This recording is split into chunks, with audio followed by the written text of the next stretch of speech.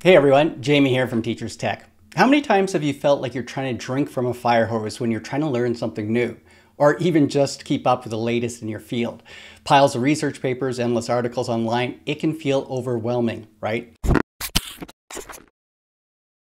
Today we're diving into Google's Notebook LM. It's not just another chatbot, it's a game changer for how we learn and research, made even more powerful by its latest updates. To put it to the test, we'll tackle quantum computing. I'll show you how Notebook LM breaks it down step by step. We'll explore the fantastic new features like the redesigned studio panel and the mind-blowing video overviews. Whether you're a teacher, a student, or just a curious learner, this is the tool you need to see. Let's get started. Let's get logged into Notebook LM. If you haven't been there before, I'll put a link in the description, or you can just go to notebooklm.google.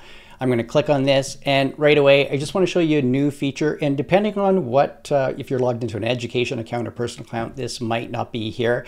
These are featured notebooks so what these are curated by experts they could be authors or scientists so if I go ahead and click in on this one all the sources in here have been collected and curated so if you start using Notebook LM that's where they're going to be pulling the information from so that's a neat feature but like I said in the education accounts you might not see that.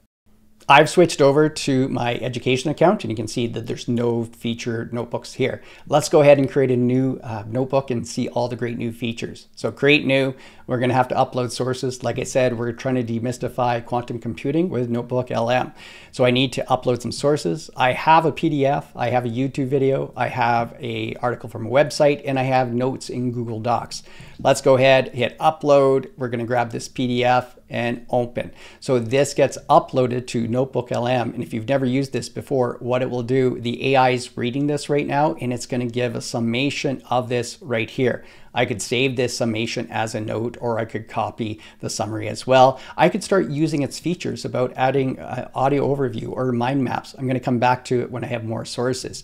Now, first of all, I don't want it to call this uh, this. I'm going to rename it. So I'm going to type in quantum computing 101 little bit about navigation. If I click on this right up top here, you'll notice here is the notebook that I just created and I can go back to it. Let's add another source. So this time I wanted to grab this YouTube video. So I'm gonna go in here, control C for copy, and I'm gonna go to YouTube and just paste the link in like that. So now I have two sources. I'm gonna go grab this website here, copy, bring it back over here, hit add, and then I'm going to link the website. So I paste it in. If you have multiple websites, I could hit enter and do multiple ones in here so you don't have to keep doing it again. Some websites are behind paywall, so you'll notice that it'll get an error or won't read it. I'm going to hit insert.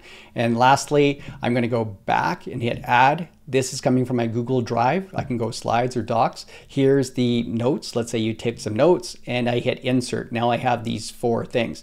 The other thing you could do if, uh, from a website, you could copy paste text over, or if you're taking notes, if I go to add, I can go to paste text, copy, and I could paste it right in here, and that would be a source. Now that we have some uh, information in here, we're ready to start even using more in some of these new features.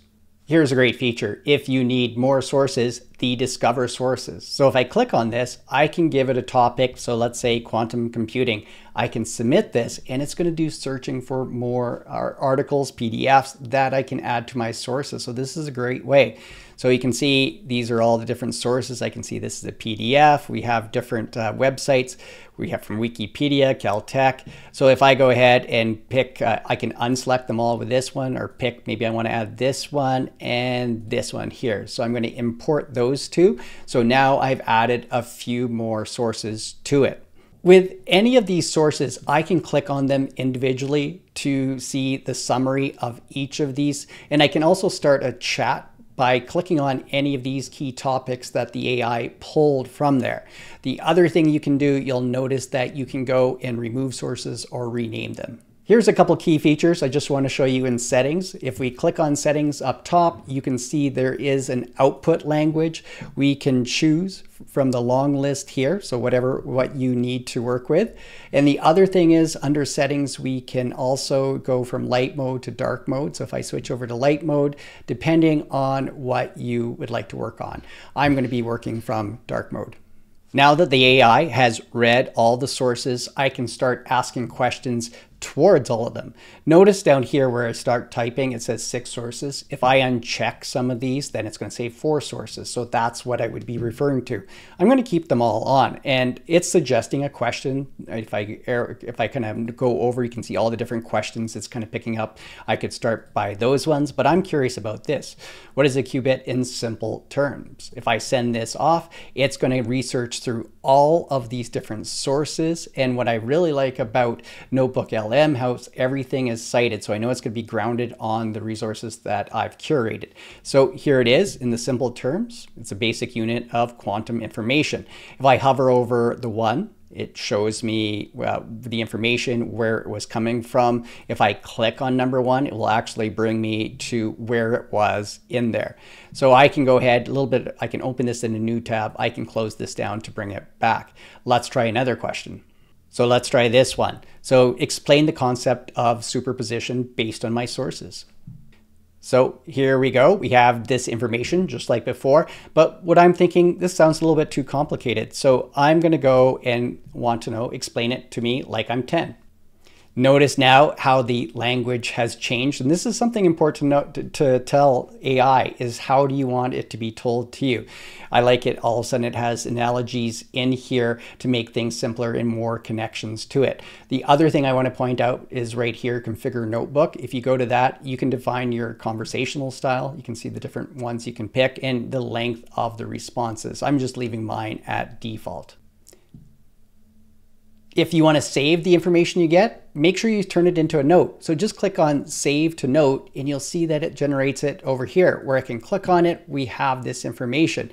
The other good thing is we can convert this to a source. So if I click convert to source, it adds it over here. And then this is a part that it's going to be pulled from. Remember what I said before, we can remove sources and we can delete these notes as well. And then we'll be back to empty. Let's move on now. So this is where the magic happens. And you can see kind of how they've updated the look of this studio with this nice clean look.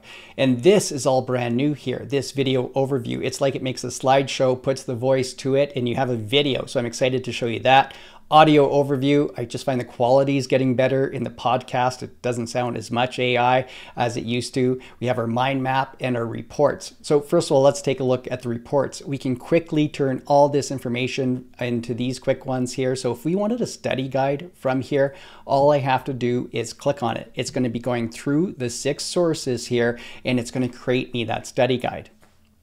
So here we have our study guide. I want to point out here too, we can convert this to source. So it would put it over here if I wanted it. If I click on it and open it, you can see we have this study guide. It's taken from the information here as I go through. It's put into a nice way to consume. So that's a quick way if you want to learn something to pull from your sources, you can do that. Remember, you can close the view and it goes back. The mind map here is another way to dig down deeper. And this really allows people, maybe you see things, uh, want to see things a little bit differently. A mind map will allow you to dig down and I'll show you how this branches out. Here's our mind map. Let's go ahead and open this up. Now you can see as I expand it, it breaks down all the concepts. And so I can go through, and if you're a visual learner that likes to break down the learning, you can see these step by step. You can zoom out on your mind map to see the different connections here. You can even download this. So if I click download, this will download it as a uh, PNG file. If I click and open this up, I'll bring this over. So now I have this right here as a PNG file that I have. Remember, you can close it down, close it down here. Everything's here still. We can delete it if we don't want it. All right, now the audio overview. Remember with any of these, I don't have to have all these checked. If I want to have less sources, I can go ahead and do this. With the audio overview, you can customize this. I like now that you can go shorter or longer. So if I make it shorter, is there something I want them to focus on? Uh, you, you, can see the different examples. I'm just gonna hit generate for a shorter one and we'll go through and do a little preview of this. We have our audio file all finished here. Let's give it a little test. This is interactive mode. I'm gonna come back to this in a moment. Let's just hit play. Okay, let's uh let's unpack this. You know Sounds how sometimes nice you hear these big sort of buzzy terms like quantum information They didn't science, say deep dive or anything what yet. They really That's mean great. for us beyond just you know being cutting edge tech. Let's pull out the most important bits, what QIC actually is, why it's apparently so vital. And yes, some of the truly mind bending. It's sounding really good. You can change the speed too. So if I go to this and want it a little faster, stuff it promises. We want you to walk away with a solid grasp of its potential impact. And you can adjust to what makes it good for you. The other thing I want to point out, you can download this as a file and you can even share from here. So if I click share, you can just add the people that you want here, get them notified, and you can see that if you want to have access to the full notebook as well. Let's jump back. I'm going to close this. I want to test out the interactive mode. I'm just going to press on this so as soon as I hit play, then I can uh, listen to it. If I have a question, I can go ahead and ask it. Okay, let's uh, let's unpack this. You know how sometimes you hear these big sort of buzzy Join. terms. Oh, hey there, how can we help? Hey, I'm just wondering, what's the simplest way you could explain quantum computing to me? I'm really having troubles understanding. That is an excellent question. It's totally understandable. Yeah, it's one of those things that sounds super complex. Absolutely. The simplest way to think about it is this. Imagine your regular computer, right? It uses bits, like light switches. They're either on or off, a zero or a one. Simple, clear cut. So look at that. I was able to join the podcast. That's like phoning into a podcast and getting them to help me out with a question. I love having that option. Now the video overview, this brand new feature. I'm gonna go and look at customize and I'm gonna give it some information. I'm just gonna say, present this to a grade six class because I'm curious of how it will make this. I'm gonna click generate, just like before, we have to wait a while. But remember, this is gonna create a video for me with like a slideshow with it, with the talking. All right, here we go. It's all done here. Uh, like before, you can rename, download, share, delete. Let's go ahead and play this.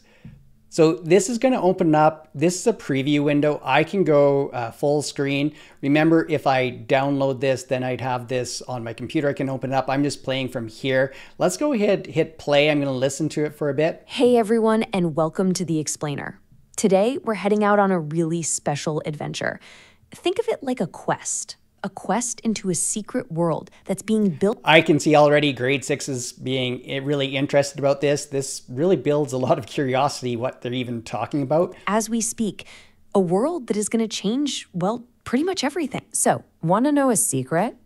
I mean, a real secret about what's coming next. I can jump ahead. This amazing new world, this future powered by quantum technology, it's not just going to build itself it needs pioneers, it needs creators, it needs a new kind of hero.